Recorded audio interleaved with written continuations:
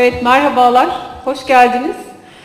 Ee, ben Saynur Önen, aslında kendimizi tanıtarak başlayabiliriz. Ee, benim bu mezun olalı 20 sene olmuş, 98'de mezun olmuştum. 20 yıldır e, insan kaynakları alanında ve ağırlıklı eğitim gelişim alanında çalışıyorum. 15 yılı da kurumsal akademilerle geçti. Ee, bu 15 yıl içinde de e, çok farklı kurumsal akademi deneyimleri yaşadım. Birazdan zaten bahsedeceğiz aslında içeriklerin içinde.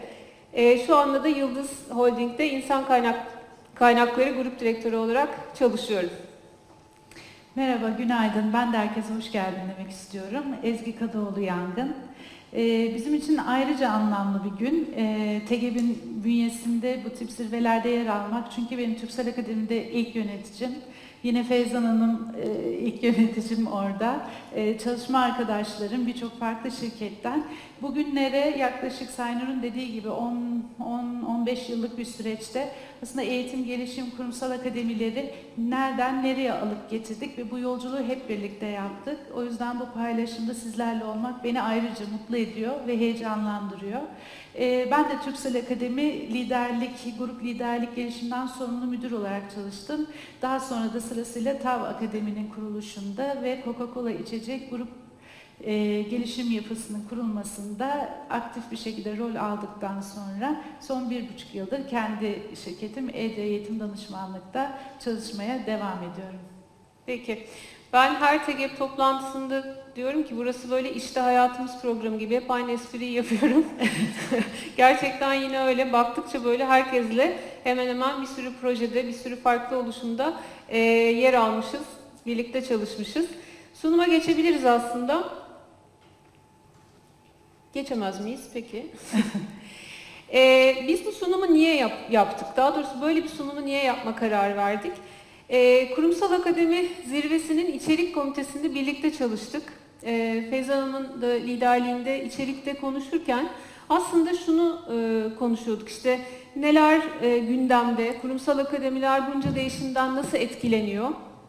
Bütün bunları konuşurken dedik ki aslında bu sefer biz direkt bir şirket örneği, kendi örneklerimizi anlatmayalım da biraz aslında genel konuşalım. Yani biz kendi değişim dönüşümümüzde neler yaşadık, hangi e, örnekleri gördük, hangi e, zorluklarla karşılaştık ve bunları nasıl e, yendik ve dünyadaki kurumsal akademiler neler yaptı, ülkemizin gerçekleri neler, bunlara kurumsal akademi nasıl karşılık veriyor, bunları tartışırken bari bunu bir hani karşılıklı sohbet gibi e, katılımcılarla da paylaşalım istedik. Dolayısıyla bu fikir buradan çıktı diyebiliriz. E, değişimi konuşuyoruz. Aslında çok kısa değişim nasıl, hayatımızda neler oluyor? Bir, çok farklı oturumlarda, kendi şirketlerimizdeki sunumlarda, toplantılarda da aslında konuştuğumuz şeyler. Ee, çok önemli bir dönemden geçiyoruz. Ben gerçekten hani 20 yılı özellikle söyledim, 20 yılda son 3-4 yılda hissettiğim değişimi hiç hissetmemiştim. Çok farklı, yani şirketlerin iş yapış biçimleri ve modelleri değişiyor.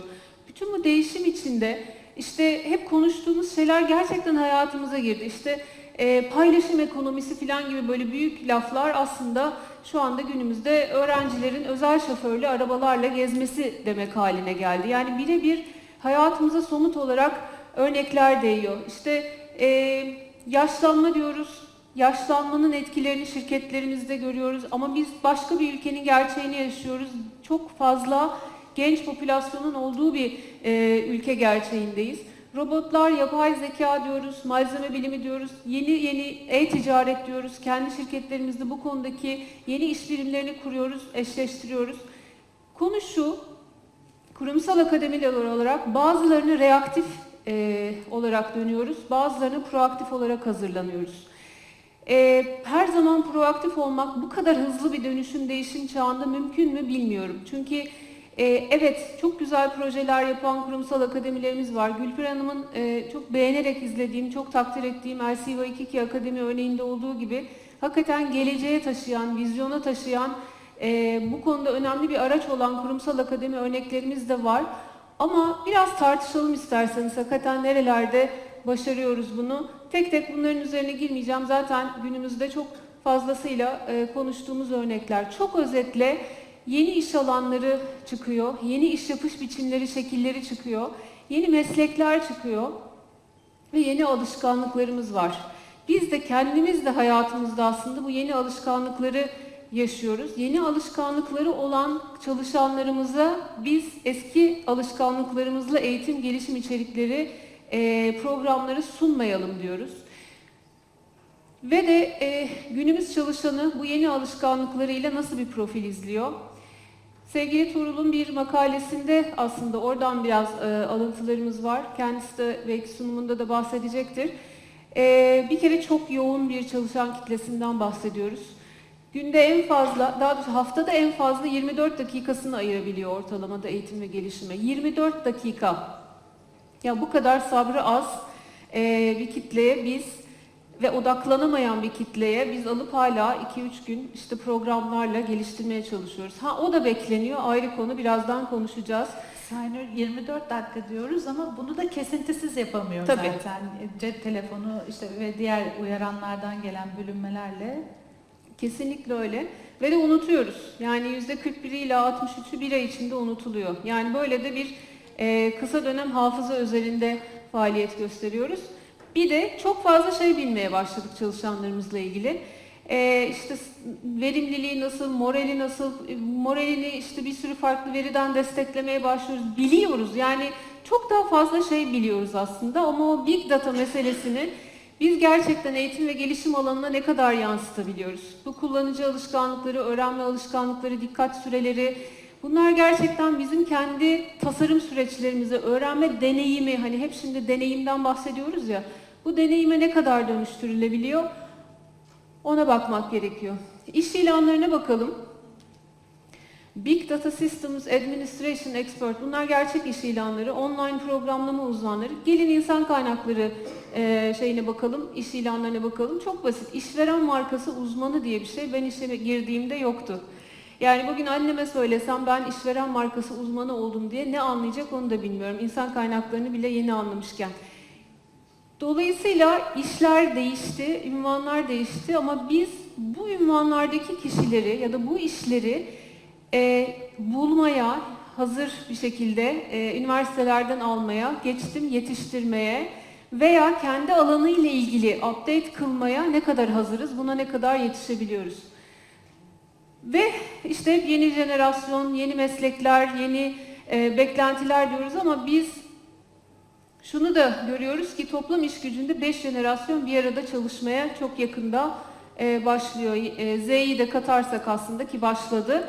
5 jenerasyonda bir arada. Yani eski alışkanlıkları yavaş yavaş değişmiş, hatta belki hiç değişmemiş çalışan kitlesiyle işte bu 24 dakikasını ayırabilen en fazla, dikkat süresi çok kısa, e, tamamen dijital çağın içine doğmuş, başka türlüsünü zaten bilmeyen kitleye eş zamanlı hizmet veriyoruz.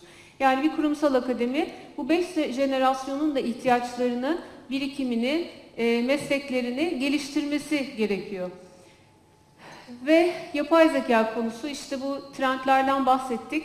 Ee, yakın zamanda deniyor ki yüzde 40'ı yapay zeka ile mesleklerin dönüşecek, değişecek. Bu ne demek? Çok fazla konuşuluyor. İşte Dünya Ekonomik Forumu'nu son yıllarda çok yakından takip ediyoruz. Çünkü insan kaynağı ile ilgili çok veri bize vermeye başladı. Ee, e ne geliyor? Biz dünyada aslında en çok konulan, konuşulan konulardan biri hayatımızda reskilling. Yani mesleklerimizi kaybedeceğiz. Birçok iş güncelliğini kaybedecek. Ve birçok insan aslında işsiz kalma riskiyle e, karşı karşıya. Ve dünyada birçok büyük şirket e, mevcut çalışanlarına artık yapay zeka ile, teknolojiyle işi dönüşen çalışanlarına yeniden nasıl beceriler kazandırırım diye konuşmaya başladı. Bu reskilling meselesi de önümüzdeki dönem bizim hayatımızı çok oldukça etkileyecek. Hatta bence şu andan çok fazlasıyla hani reaktivite, proaktivite, proaktif olarak ne kadar hazırlanabiliyoruz bu konuya e, onu da düşünmemiz gerekiyor. Gerçekten biz bu dönüşümde e, yeni jenerasyonu hem geleceğe yönelik eğitiyoruz ama eskisinde de meslekleri artık e, güncelliğini kaybedecek çalışanlar ne yapacak? Biz ne yapacağız? diye düşünüyoruz. Ve çoklu kariyer meselesi. E, evet bu trendler işte hayatımızı nasıl etkiliyor? Yaşlanıyoruz. Yaşlanıyor, yaşlandıkça da ömür e, daha doğrusu ömür uzadı. Yani insan ömrü uzadı.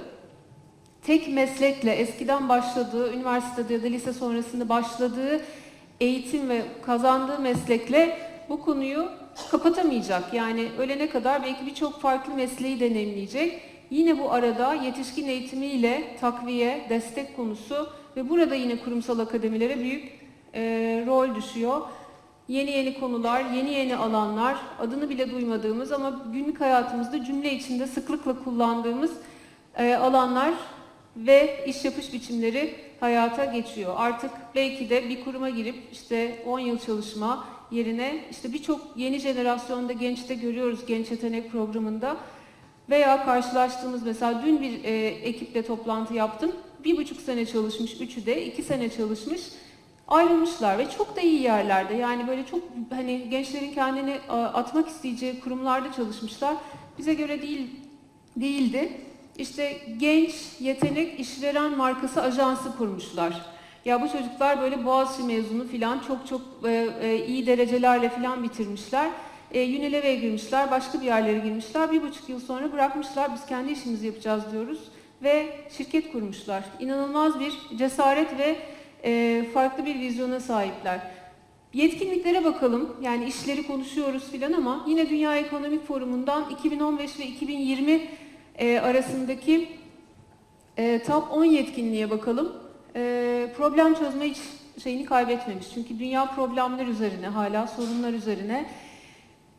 E, kritik düşünme, yaratıcılık, e, insan yönetimi. Yani aslında işin özü değişiyor mu? Bende hep soru işareti. E, bütün bu konuştuğumuz temalar değişiyor ama özünde yetenek, yetkinlikler çok değişmiyor. Sadece bazı konular daha öne çıkıyor sanki. Fakat biz bu yetkinlikleri verebiliyor muyuz? Yani yeni çağın içerik veya konu bazında değil ama özünde bu yetkinlikleri ne kadar kazandırabiliyoruz? Özellikle kendi çalışanlarımıza veya potansiyel çalışanlarımıza konusu var. Değişmeyen bir şey daha var. Ee, pedagoji yerine andragoji kavramını Knowles 1968 68 değil mi? 1968 yılında geliştirmiş. Knowles'un andragoji tanımı. Çok özetini koyduk buraya. 68 2018 ee, şimdi şöyle bugün hani hep beraber şöyle bu konunun uzmanları olarak konuşsak yetişkin eğitim bugün öğrenenler nasıl öğreniyor diye işte bilmek istiyor ama ihtiyacı doğrultusunda e, kontrolü elinde olsun istiyor. İstediği zaman, istediği kadar, istediği anda tecrübeleriyle ilişkilensin istiyor. Öğrenirken e, eğlenmek istiyor, hayata hazır olmak için öğrenmek istiyor. Şimdi bunu ben 68'de hani bu şey teorinin özü geliştirilmiş desek biraz şey gelir ama bugün hala bunları konuşuyoruz. Yani öz sanırım yine değişmiyor. Mobil teknolojileri konuşurken bunun üzerine koyuyoruz. Bu teorinin üzerine koyuyoruz diyoruz. Peki, şimdi bu kadar girişten sonra bir kurumsal akademinin tanımına bakalım. Büyük insan e, Mark Allen, kendisini böyle bir zirve yapıp anmadan da e, ed- etmeyelim. e, Mark Allen'la Türkiye'ye de geldiğinde de tanışmıştık. Çok gerçekten e, hem bu konunun çok uzmanı hem de çok mütevazı bir insan. Çok da e, kitaplarını da okuduk geçmişte ve hala okumaya devam ediyoruz. Tanımda diyor ki yani bu işte çok e, aslında işin özünü, Gülperi Hanım da çok sunumunda güzel bir tanım yaptı. Paralel e, şey mesajlar içeriyordu. Bir stratejik araç. Peki bu bir stratejik araç misyonu, şirketin misyonunu başarmasına yardım ediyor. Peki ve ne sağlıyor? Bireysel ve kurumsal. Yani bireysel aynı zamanda organizasyonel e, öğrenme, bilgi ve bilgeliği diyelim, öyle çevirelim, geliştirmeye yardım ediyor. Şimdi düşünelim çalıştığımız, yarattığımız, ürettiğimiz kurumsal akademilere, içinde bulunduğumuz öğrenme organizasyonlarına, eğitim organizasyonlarına. Burada neredeyiz? Buraya ne kadar yakınız? Ee, şirketin misyonuna ne kadar stratejik olarak destek veriyoruz? Temelde bunu sorguluyoruz. Ee, bir de çok böyle hani klasik bir şey vardır ama buraya özellikle koymak istedik Ezgi ile. Evet. Eğitim bölümleriyle kurumsal üniversiteler arasında fark. Yani işte bir tabela değiştirmek midir konu? Yoksa bazı dönüşümleri gerçekten sağlamak mıdır? Ee, Reaktiften proaktife, taktikselden stratejiye, bireyselden bireysel ve kurumsala, karma çözümlere, daha işbirlikçi, e, ekosistemle birlikte değer yaratan çözümlere, doğru ölçme ve değerlendirme yani katkıyı ortaya koymaya ve İK sistemleriyle ve en önemlisi business'la entegre yapılara kurumsal akademi diyoruz. Her biriyle ilgili kendimizi tek tek değerlendirebiliriz, ölçebiliriz. Peki bir de e, bu rapordan da aslında bahsedelim. Ya bütün bu konuştuklarımızın üzerine yani kurumsal akademinin tanımını düşündüğümüz zaman yaklaşık iki yıl önceydi, bir buçuk yıl önceydi. Rapor 2016'nın sonunda çık, çıktı. Ben de o zaman Türk Telekom Akademi'deydim. Ee, Boston Consulting Group'un Avrupa'daki akademilerle yürüttüğü bir araştırma vardı. Bu araştırmada işte belli e, birebir mülakatlarla bir değerlendirme yaptılar. Sonunda da bir rapor. Ne durumda akademiler? Bu araştırmadan çok ana hatlarını e, özetlemek isterim. Biraz aslında Türkiye'deki durumdan da çok farklı değil ama buradaki akademiler Türkiye'den Türk Telekom Akademi olarak katılmıştım. Ama Türkiye'deki diğer akademileri de düşündüğümüz zaman benzer özellikler içeriyor. CEO'nun desteği çok önemli. Hep bunu söylüyoruz. Kurumsal akademiler CEO'nun tepenin desteği olmazsa olmaz. %30'unda yapılandırılmış bir rolü var bu akademiler içerisinde. Yani ya CEO'ya bağlı, LCO 2'de olduğu gibi ki e, araştırmada da yüzde 32'si, e, evet buradaki olduğu gibi direkt CEO'ya da bağlı. Yani e, böyle bir şeyi e, raporlamayı da paylaşmışlardı. E, liderlerin yetiştirilmesinde önemli, yani geleceğin liderlerini yetiştirmeye kafaya takmış, ortak noktalarına baktığımız zaman.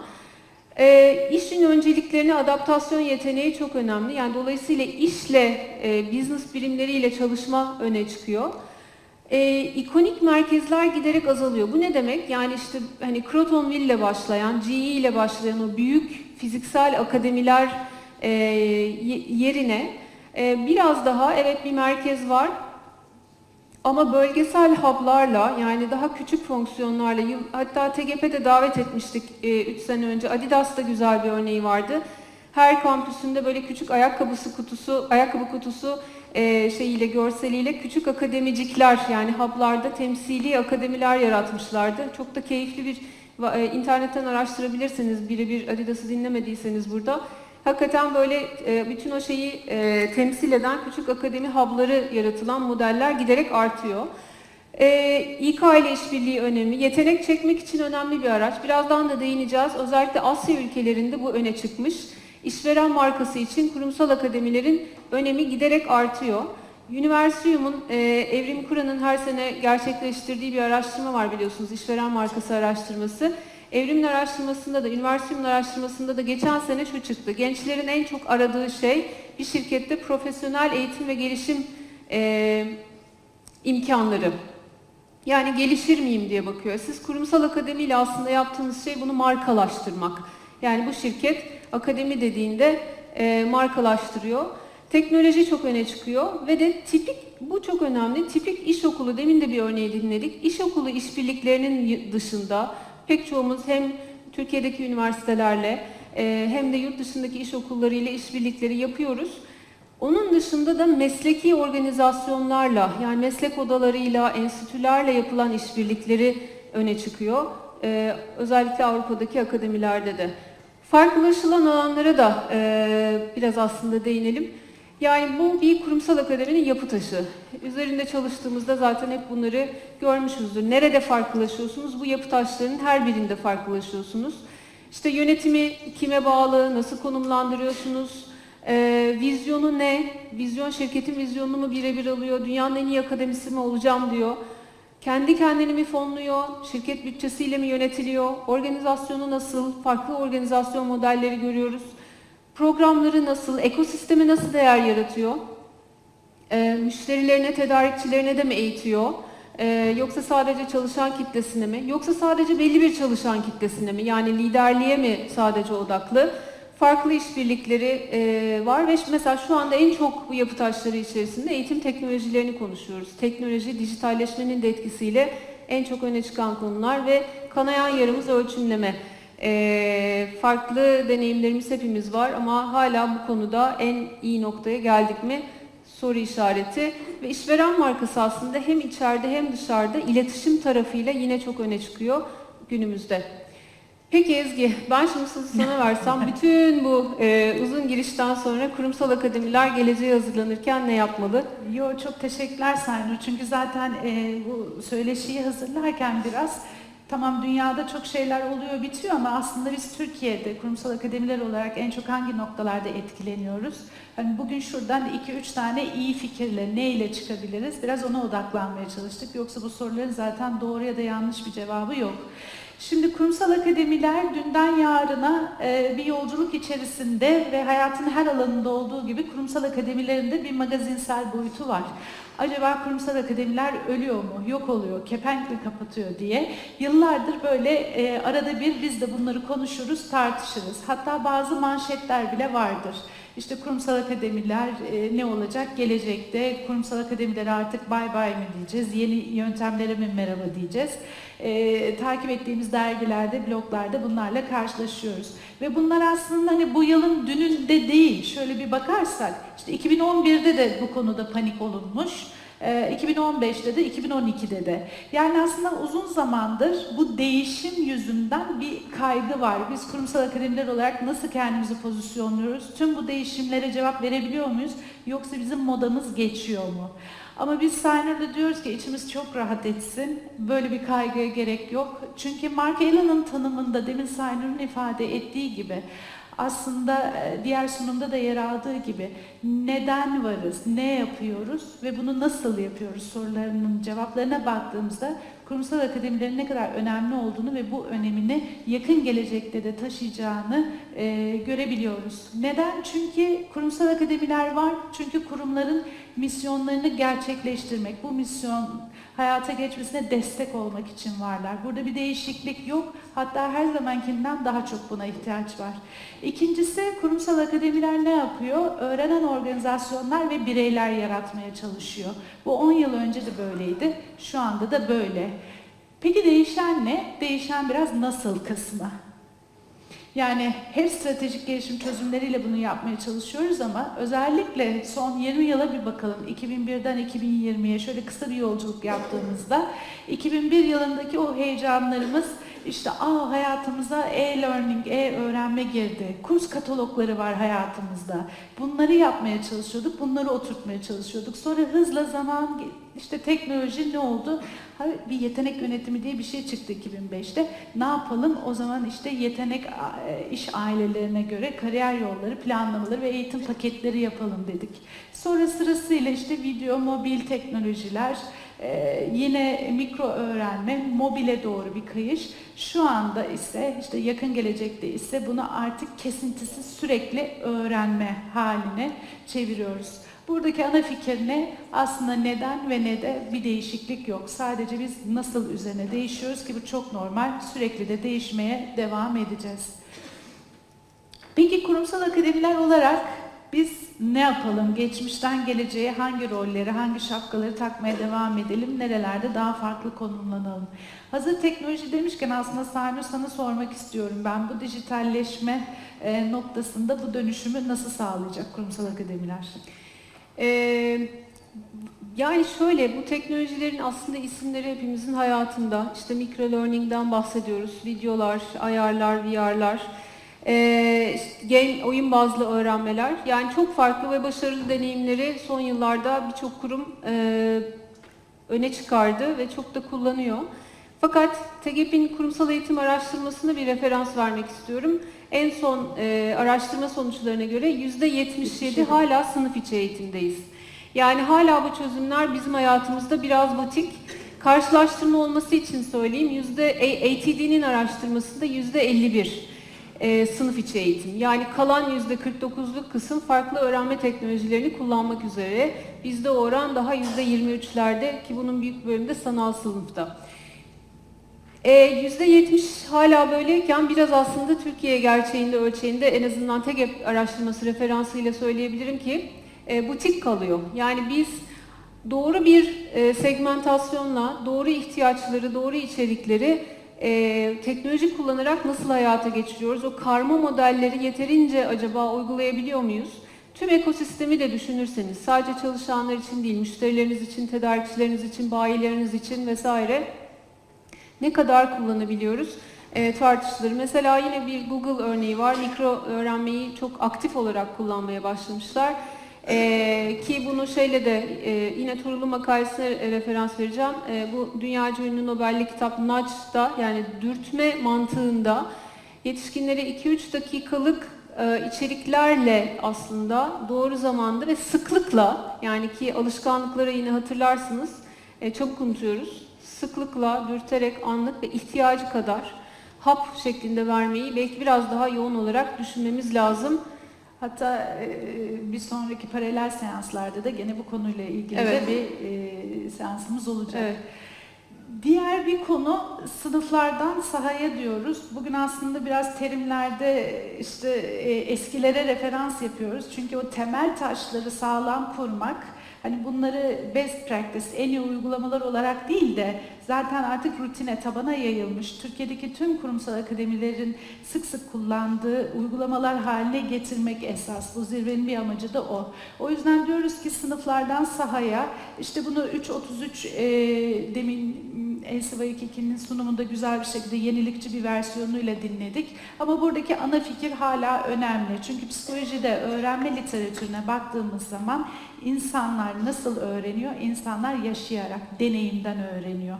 %70'i buradan geliyor. %20'si ise daha sonra bununla ilgili kurduğunuz ilişkilerden aldığınız geri bildirimlerden. %10'u ise bununla ilgili teorik yapılandırılmış bilgi kısmından. Ancak kurumsal akademilerin bütçelerine bakalım ya da ödül başvurularındaki e, başvuruların içeriklerine bakalım dediğimizde müthiş çok güzel yaratıcı uygulamalar görüyoruz ve kurumlara katkı sağlayan uygulamalar da görüyoruz. Bununla birlikte bu uygulamaların hala çok büyük bir kısmının %10'luk ve %20'lik alanda olduğunu da fark ediyoruz. Yani bu %70'lik deneyimden öğrenme kısmı kurumsal akademiler için hala bir fırsatlar ülkesi. O yüzden buraya odaklanmak, özellikle insan kaynakları ekipleriyle bir, bir araya gelip kendi kurumunuza göre, kendi kurum kodlarınıza göre yaratıcı ne gibi çözüm önerileri hayata geçirebilir e, buna bakmak çok önemli. İşte rotasyon, transfer, iş zenginleştirme diyoruz. Bunlar gerçekten kurumsal modellerle hayatımıza geçmiş mi? Yani çalışanın, her bir çalışanınız bunlara ulaşabiliyor mu? Yoksa hala yetenek yönetiminde imtiyazlı bir kitleye sunduğumuz e, ve best practice ödüllerde bahsettiğimiz uygulamalar mı? Bunu gerçekten e, gelişim çözümlerimizin kalbine koymamız lazım. Her şeyi bir kenara bırakalım. Diyelim ki 70-20-10 adına hiçbir şey yapamıyoruz. Yapılabilecek, kurumsal akademilerin kendisine vazife çıkarabilecekleri bir alansa e, özellikle yöneticilerin ve çalışanların bireysel gelişim planlarına ustalık kazanmalarını sağlamak nedir? Şimdi kurumlar olarak çalışanlarımıza soralım. Eğitim, gelişim aklına ne geliyor? Herkesin aklına yüzde onluk ve yüzde yirmilik kısım geliyor. İşte oradan eğitim seçmek, seminere gitmek, koşluk ya da mentorluk almak ya da iç eğitmen olmak gibi. Halbuki yöneticiler ve çalışanlar belirli bir bilgilendirme ve rehberlik doğrultusunda birlikte oturup kritik deneyimlerle nasıl gelişim planı yapılabilir, kendi yaratıcılıklarını burada nasıl kullanabilirler, e, bu konuda alacakları destek e, kuruma öğrenme anlamında ciddi bir kaldıraç etkisi yapacaktır. Ee, diğer bir konuya da devam etmek istiyorum ben Saynur. Bu da kurumsal akademiler artık işlerin, ürünlerin, o kurumun hizmetlerinin yeniden tanımlandığı yerler haline gelebilir. Bu da genel geçer bir uygulama haline gelebilir.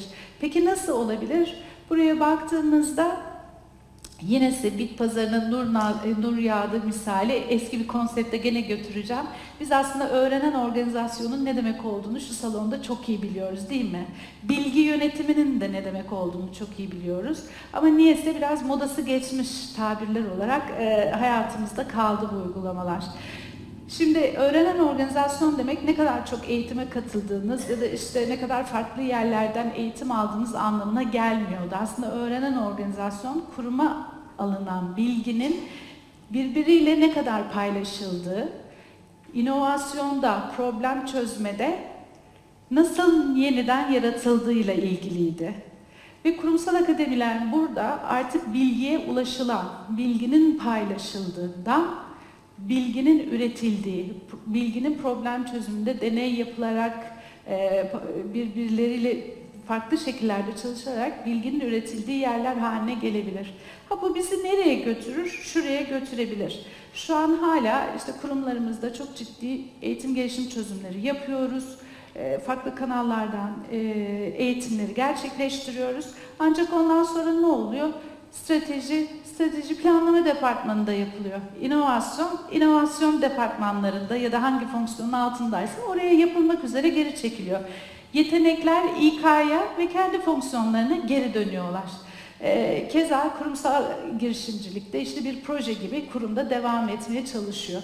E biz madem bu kadar grift organizasyonlardan bahsediyoruz, artık gerçek zamanlı öğrenmeye ihtiyacımız olduğundan bahsediyorsak, kurumsal akademilerin göz dikmesi gereken yer artık bir insan kaynakları fonksiyonundan ziyade kurumun kalbinde e, yer alan ve tüm bu uygulamaları ev sahipliği yapan bir anlamda inovasyona e, kucak açan merkezler olmak.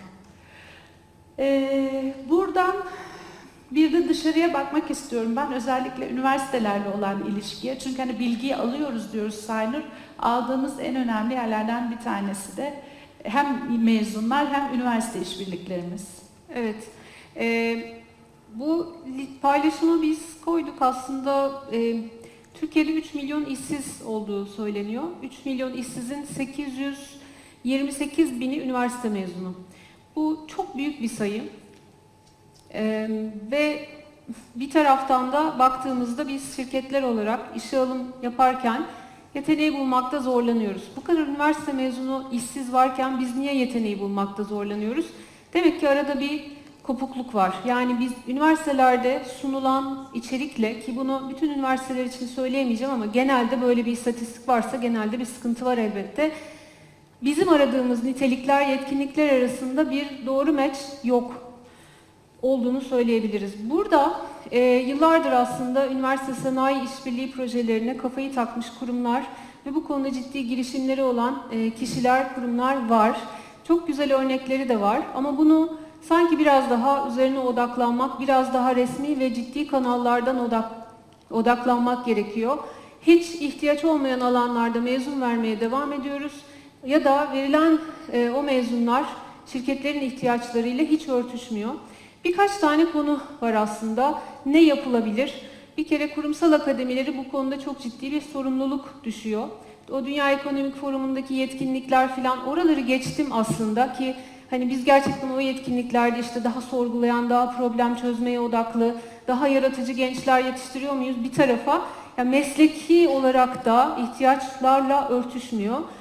Kurumsal akademiler yönetim yapılarında, tavsiye kurullarında yer almalı üniversitelerin ya da bu konudaki daha üst organizasyonların. Orada şey örneklerini konuşmuştuk. Mesela benim deneyimde de TAV'da havacılık eğitimi, e, hı hı. yine çağrı merkezi Türk Telekom Asiste. E, üniversite işbirlikleri var ve bu alanda birçok üniversite var. Ama hala içeriklere baktığımızda ya da öğrencilere baktığımızda kurumun ihtiyaçlarını karşı bir seviyede değiller. E, o zaman artık demek ki kurumsal akademiler belki de üniversitelerin müfredatlarının belirlenmesinde de governance yapılarında aktif rol almalı. Kesinlikle ben de Yapı Kredi ve Türk Telekom evet. deneyimlerinde benzer şeylerle de karşılaştım.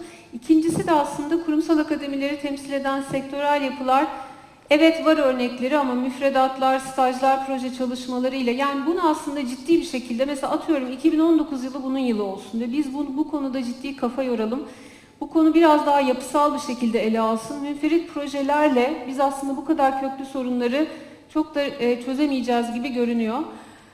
Ve e, içerikle ilgili yine bahsettiğim bu sadece konu veya teknik yetkinlikler değil, gerçekten o yetkinliklerle ilgili, o iş dünyasının beklediği kıvraklığa hazırlayacak yetkinliklerle ilgili de hazırlamak lazım. Bir taraftan aslında bu şirketlerin işveren markası için de çok önemli. Demin de onun örneğini vermiştik. Sen çalışan e, markası dedin, işveren markası dedin Sanur. Ben de biraz çalışan bağlılığından bahsetmek istiyorum. E, içerideki çalışanlarımız için de aslında kurumsal akademilerin çalışan bağlılığında bir kaldıraç etkisi yaratabilmesi için de ciddi bir fırsat var. Ajandalara baktığımızda hem üst yönetimin hem insan kaynaklarının en önemli konularından bir tanesi çalışan bağlılığını nasıl sağlarız, bunu nasıl sürdürürüz? E şimdi burada yeni nesil kuşak e, detayına girmeyeceğim ama milenyıllar dediğimiz zaman zaten %94'ü diyor ki LinkedIn'in 2018 iş yeri öğrenme raporuna göre eğer bir kurum bana öğrenme ve gelişim fırsatları tanıyorsa benim o kurumda kalma ihtimalim %94 civarında diyor. Bu yeni neslin tercihi. Ama hani mevcut nesil ya da daha eski nesil dediğimiz yerde de bir değişiklik yok. Şu çok meşhur, gene sizi biraz eskiye götüreceğim. Gallup araştırmasını biliyorsunuz yıllar önce yapıldı 3 milyona yakın kişiyle. Ve ne, ne çıkmıştı orada? 12 tane temel soru sormuşlardı. Ve şimdi sonuçlarına göre şu an hala Amerika'da yüzde yetmiş çalışan bağlı değil çıkıyor. Ve bu sorulara bakın, hani tekrar bunlar eski demeyin, çok faydalı bilgiler var bunun içerisinde. Bu 12 maddenin 4 tanesi tamamen eğitim gelişimle ilgili. Diyor ki ben iş yerinde birisi benim gelişimimi destekliyor son 6 ay içerisinde bir gelişim kaydedebildim. En yukarıda bu kurumda öğrenmem ve gelişmem için fırsatlar var. Demek ki çalışan bağlılığında bu, bu kadar önemli bir etkisi varsa burada da yine kurumsal akademilerin insan kaynakları ile birlikte yaratabilecekleri e, ve fırsat olarak değerlendirebilecekleri ciddi projeler çıkabilecektir. Şimdi son olarak böyle biraz daha romantik, biraz daha idealistik bir kapanış yapmak istiyorum. E, Zeldin'i tanır mısınız? Kendisi bir Fransız e, yazar ve e, felsefeci diyebiliriz. E, ve düşüncesinde muse diye, ilham diye bir e, akımı var. E, ve yazdığı önemli kitaplarında da aslında temel olarak şunu hep vurguluyor Zeldin. Diyor ki, insanlar en çok insanlardan öğrenir. Yani biz en çok birbirimize muhtacız ve biz en çok birbirimizden öğreniriz. O yüzden kurumsal akademilerin insanlar için olduğunu unutmamamız gerekiyor. Evet kurumsal akademiler e, business anlamında çok e, katkısını beklediğimiz ama bunu insanlar aracılığıyla yapacağını unutmamamız gerekiyor. Ve Zeldin diyor ki ne yaparsanız yapın teknolojiyi insanı insanla konuşturmakta çok etkin kullanın. Ve bunun için IKEA'da küçük deneysel bir çalışması var. Bilenler biliyordur, bilmeyenler için çok kısa. IKEA'da bir sohbet menüsü. İşte çalışanlar müşteriler, müşteriler birbirleriyle tanışıyorlar, masada oturuyorlar. Giriş olarak biraz kendilerinden bahsediyorlar. Ana yemek olarak hayallerinden, isteklerinden ve belki de tatlı olarak ailelerinden, hayatlarında en çok seven, onlara ilham veren konulardan bahsediyorlar. Ve sonrasında bu yemeği yiyenler, çalışanlara da müşterilere sunulduğunda kendilerine gerçekten mutlu, daha doğrusu minnettar diye bir kelime kullanıyorlar. Ben gerçekten fark edildim. Birisiyle gerçek bir sohbet ettim ve birisi beni duydu. İşte bu duygular insanlara kendilerini iyi hissettiren, var olma sevdası aşılayan duygular. O yüzden de bu fikirden yola çıkarsak hani biraz Sarnı'yla sohbetimizde şunu söylüyoruz. Kurumsal akademiler lütfen fikirlerin, duyguların, insanların buluşma noktası olmaya devam etsin insanlara ilham vermeye devam etsin. Sadece çalışanlarımız için değil, çalışanların tedarikçilerle, müşterilerle, müşterilerin müşterilerle tanıştıkları, müşterilerin tedarikçilerle tanıştıkları ve birbirlerinin hikayelerini duydukları yerler olmaya devam etsin. Zeldin burada gene güzel bir örnek veriyor Ikea'da şunu söylüyor. Ikea müşterisini sadece 8 dolarlık bir lamba arayan kişi olarak görmek aslında müşteriyi de biraz küçük görmek. Halbuki o lambanın işte Delhi'de, Hindistan'da belki 200 kadın çalışan tarafından 8 saat günde eğilerek ve sadece çocuklarını eğitebilmek için çalışan bu kadınların elinden çıktığı hikayesini o müşteri bilse işte o zaman o kurumla kuracağı bağ ee, ve bizim hani mark olarak tabir ettiğimiz noktada kuracağı bağ ve kendisini de iyi hissetmesi çok daha mümkün olacaktır. O yüzden Elsa Kik'in sunumunda gördüm, çok hoşuma gitti. Ben de bu son slayda bakarken şunu hayal ediyordum. Neden hafta sonları ailelerimizle, çocuklarımızla kurumsal akademilere biz gidip zaman geçirmeyelim? Niye müşterilerle tanışmayalım? Diğer çalışanlarla tanışmayalım? Ee, ya da neden üniversite öğrencileri gelip kurumsal akademilerde bitirme tezlerini, projelerini çalışanlarla birlikte yapsınlar ve çalışanlar bundan keyif alsınlar gibi gibi en tane örnek buradan üretebiliriz. Sadece e, demek istediğimiz günün sonunda bu işin insan için olduğunu aklımızda tutmamız. Sabrınız için çok teşekkür etmek istiyorum. Sözü Saynur'a bırakıyorum. Evet. Aslında son bir toparlama yaparsak bütün bu konuştuklarımızda eee, çok son sözlerimiz evet gelecek roller dijitali hayata geçirmek, kurumsal akademilerin tercüme etmesi demek olacak. Sınıflardan sahaya inmek, 70-20 onu gerçekten hayata geçirmek, işin, ürün ve hizmetlerin yeniden tanımlandığı yer olmak. Hep literatürde bu yazıyor, inovasyonun pekiştirildiği yerler olsun kurumsal akademiler diye ama bunu gerçekten odaklanarak yapmamız lazım. Üniversitelere, üniversitelerle olan ilişkilere, bu işbirliği projelerine odaklanmak lazım. Çalışan bağlılığındaki önemini unutmuyoruz. Ve son olarak da aslında o buluşma noktası, e, duyguların da kapsandığı buluşma noktası olarak hayata geçirip ekosisteme değebiliyor muyuz? Biz çok teşekkür ederiz bizi dinlediğiniz için. Sağ olun.